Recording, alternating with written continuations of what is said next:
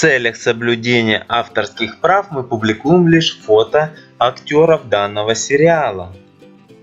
Сюжет данного сериала повествует о невозможной любви Ферита и Назлы. Назлы больше всего на свете желает открыть собственный ресторан, стать профессиональным кулинаром научиться японской кухне. Пока она студенткой, чтобы заработать на проживание, обустраивается на временную работу, становится личным поваром одного бизнесмена. Зовут ее нового шефа Ферит. Он богатый бизнесмен, и повариха Назлы в результате разных совпадений начинают сближаться. Затем открываются двери для невозможной любви. Тысячи поклонников ожидают даты выхода восьмой серии сериала «Полнолуние» на русском языке, премьера которого состоится 24 августа. Спасибо за внимание, всем до встречи, пока.